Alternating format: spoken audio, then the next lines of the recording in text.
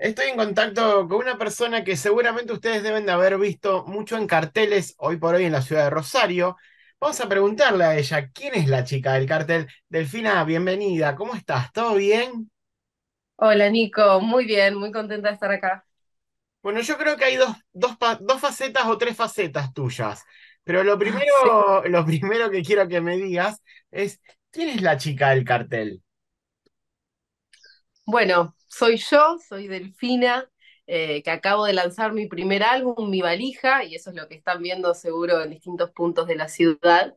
Eh, un álbum lleno de historias, lleno de música, eh, de emociones, y que lo voy a estar presentando en vivo en la Sala Labardén, que ese es el motivo de los carteles, el 30 de noviembre. Exactamente. Delphi, Mi valija es tu primer álbum y yo soy de los que piensan que cuando uno arma una valija son por dos opciones.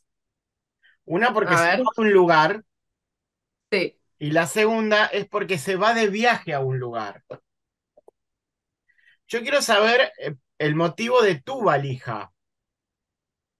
No, bueno, definitivamente es la primera opción eh, y es un poco, creo que lo que hizo que este álbum sea lo que es hoy, que es mi valija, porque, bueno, por cuestiones eh, más actorales quizás que musicales, porque, bueno, le contamos a la gente que además de, de cantante, soy actriz, eh, yo me fui a vivir a la ciudad de Buenos Aires, si bien vengo mucho para Rosario también. eh, así que, que, bueno, es un poco eso, ¿no? El dejar el lugar de uno en busca de un sueño, en busca de objetivos, de dejar a la gente que uno quiere eh, y su lugar.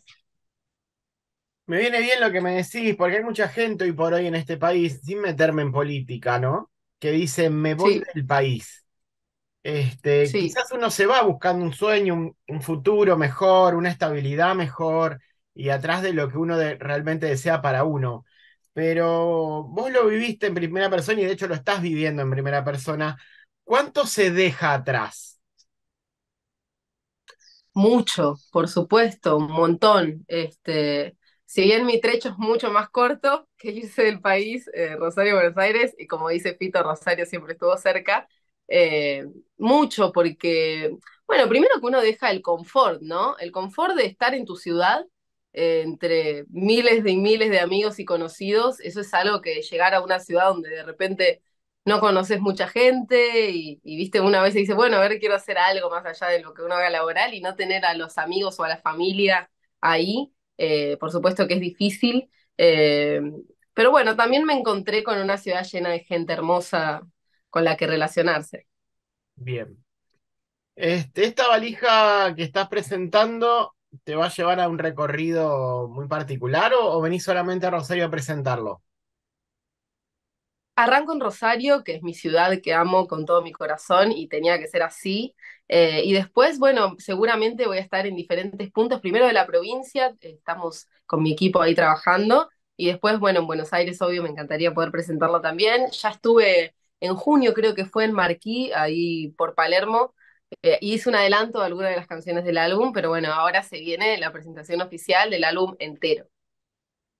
¿En qué te ayuda esto de haber sido actriz o sos actriz? Uno no deja de, de ser actor o, o de ser cantante o de ser periodista por más que uno se retire de- o deje de hacerlo, ¿no? Pero ¿en qué, Sí, qué obvio. te ayudó eh, todo esto de la actuación a la hora de, de, de cantar, de la puesta en escena, de presentarte en público? Bueno, yo creo que todo, todo lo que es arte siempre está muy conectado, porque eh, el arte, ¿no? Eh, la función es ya sea transmitir algo, contar una historia, llegar al público. Y, la parte actoral, obvio que me ayudó. Primero, eh, en la interpretación de las canciones, que es una parte muy importante para mí a la hora de cantar, porque uno cuando, más cuando es música tan personal, uno no, no es que canta solamente por un virtuosismo, sino para interpretar y llegar al público que es lo que a mí como espectadora también me gusta.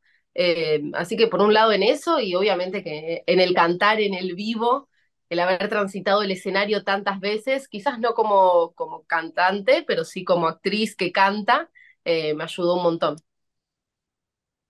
Este disco está plagado de historias y eso me lo decías vos cuando arrancaste y, y Sí, presentaste este material. Eh, y, arri- y a- y además de historias, tiene diferentes rítmicas. Es un disco que no es completamente pop, completamente rock, completamente balada latina. Eh, vas, vas, vas mechando un poco de cada cosa y creo que eso lo hace a un disco totalmente interesante a, a la hora de poder escucharlo, porque tenés un poco para cada uno del que escucha un ritmo diferente. Bueno, gracias, Nico. Sí, la verdad que yo creo que yo no soy una actriz completamente pop o completamente... Actriz dije, no, perdón, una cantante. Completamente pop o fue eso, rock. ¿eh? eh, este, así que, que quería plasmar eso, ¿no? Quería un disco muy dinámico donde podamos mezclar un poco de todo lo que me representa en un punto. Así que está buenísimo que lo digas. Bueno, gracias. Eh, con respecto a las letras, eh, hay historias en cada una de las letras y a veces uno juega o por ahí el que escucha interpreta o quiere interpretar y la fantasía de la gente vuela muchísimo, incluso de los que hablamos un poco y creemos saber de lo que estamos hablando, más del que lo creó. Infinidades de historias se han armado a través de una letra y por ahí es otra cosa. Uf, obvio. Pero mejor que ir a la fuente no hay, así que te pregunto a vos, ¿cuántas de estas canciones tienen una historia real atrás?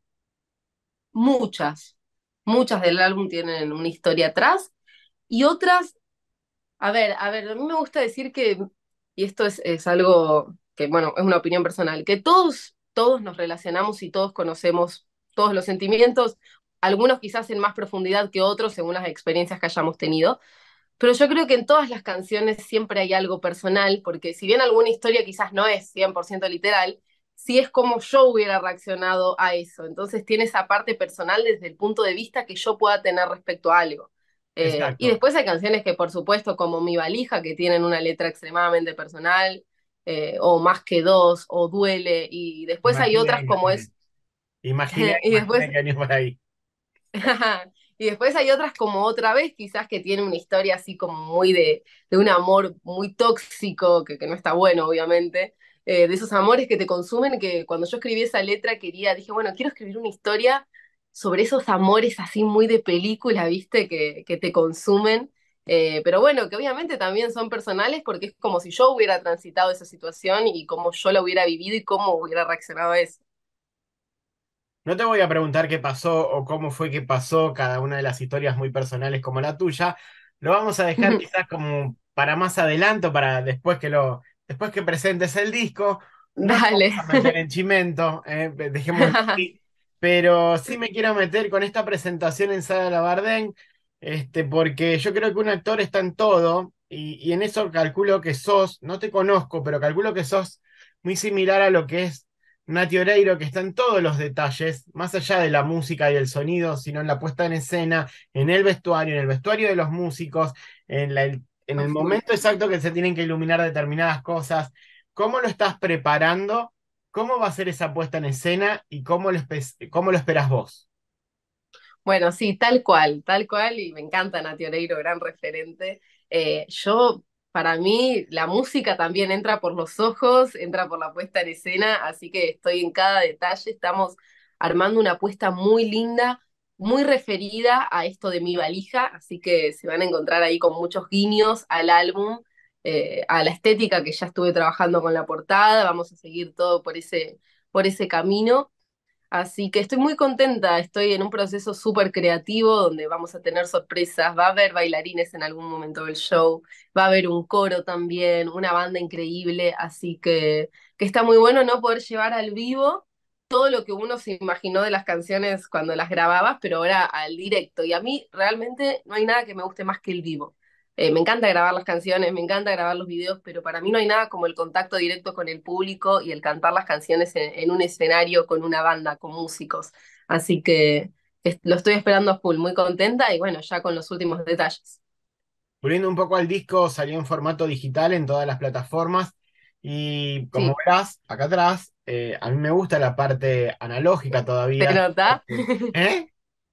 Que sí, sí, lo veo, lo veo. Este, yo creo que, que- que un disco también se disfruta mucho en el, ma- en el momento de lo, de lo material. Entiendo que hoy por hoy es muy caro, Sí. este, pero ¿va a salir en algún momento en formato físico el, el material o no? ¿O lo dejamos ahí y, y armamos una Mira, portada para las redes y, y ahí?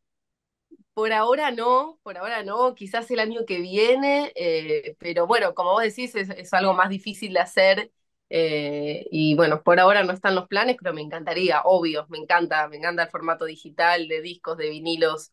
Eh, pero bueno, es otro, otro proceso y bueno, ojalá, ojalá en un futuro. Hablando de, de- de procesos y de música, ¿cómo escuchás música? ¿En qué formato escuchás? Mira, escucho mucho con auriculares, como que no, ni a palos me pongo así A- con el ¿Auriculares, celular. auriculares como de los que van acá o los No, no, de los grandotes, de los Bien, grandotes, sí. bien, Sí, va. sí. Así o con parlantes. Eh, como que el celular no, no me gusta escuchar así. Bueno, excepto que tenga que escuchar algo rápido, obvio. Claro. Pero, Pero pero siempre en si formato me digital. ¿Qué? Siempre en formato digital, digo. Sí, sí, sí, sí, sí. En formato digital, sí. Bien. No, si dice hace, hace mucho que no, debería ir vinilo, pero bueno, el vinilo es más difícil de conseguir, me parece Y que, que es hoy, medio caro. hoy, hoy está en auge, ¿eh? Hoy está, se está Sí, reeditando mucho el vinilo, está muy caro, pero se está sí, reeditando mucho el vinilo. está ¿Y, bueno, está y qué estás escuchando? ¿Qué, qué te gusta escuchar? Mira, escucho de todo. Hoy, si te tengo que decir hoy, A por ver, ejemplo, estoy agarramos hoy tu muy, celu o agarramos tu- tus playlists hoy, ¿qué, bueno, qué había hoy escuchando? ¿Qué iba escuchando hoy Delfina eh, hoy? En el trayecto que, que fui a hacer otra entrevista, estaba full con, conociendo Rusia. Eh, hay un poco de la dirección de Cabildo y Qué Juramento. buen disco, Cabildo y eh, Juramento. hermoso, Hermoso. hermoso. Pero, pero escucho de todo, la verdad. ¿Y Ya sea acá? nación. Sí, bueno, ponele, hace poco fui eh, a ver el plan de la mariposa, que, que me encantó. Eh, o bandas de acá, decís de la ciudad. Banda de la ciudad, banda de banda Bueno, eh, sí, ya que me decís, eh, me va a estar abriendo el show Isla Marte, que es una banda local hermosa. Así que, que bueno, escúchenlos también, que son unos genios y me encanta, me encanta para mí, es un honor que me abran el show, así que, que bueno, siempre apoyando lo local, Bats me encanta también. Este, así que creo que hay un talento increíble acá en la ciudad, Manu Piró, un genio también. Así que me encanta, me encanta la movida que se está, se está haciendo acá en nuestra ciudad. Hay mucho talento. El año ya se termina y antes de cerrarlo, invitando a la gente y, y- y volviendo a, a refrescar un poco la fecha, eh, ¿qué, qué esperás para, para este 2024 que, que ya lo tenemos prácticamente encima? Ya, qué increíble, no se puede creer. Mira, Mirá eh, que el pasamos primero, cosas, ¿eh? Pasamos pandemia, te escuché en pandemia, hablaste de pandemia. Hoy, después de todo ese trajín, de todo ese viaje, de volver a la actuación, que te vimos actuar en el círculo de nuevo y demás, sí, salís hoy con tu nuevo disco, con tu primer disco, con tu primer hijo, como dicen muchos de los músicos, sí, tal cual. prácticamente empezando un año nuevo. Ya, increíble. Bueno, creo que el objetivo más principal de, para mí, para el 2024, va a ser seguir tocando, seguir difundiendo este álbum que acaba de, de nacer y que, bueno, todavía le queda mucho para presentarlo en vivo. Sin embargo, ya estoy con música nueva que va a salir y voy a estar presentando algún material nuevo también el 30 que todavía no salió. Así que, que bueno, que sea un año lleno de música, de proyectos, ¿por qué no también de teatro? Así que siempre que haya arte vamos a, a estar bien. Delphi, invitamos a la gente para este 30. Obvio, bueno, los espero a todos el 30 de noviembre en la Sala Labardén.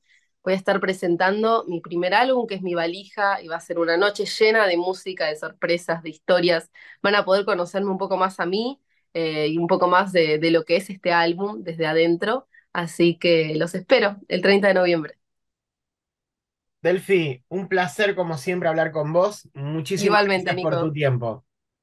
Gracias a vos, un placer. Te mando un beso, cuídate. Igualmente. Chau, chau.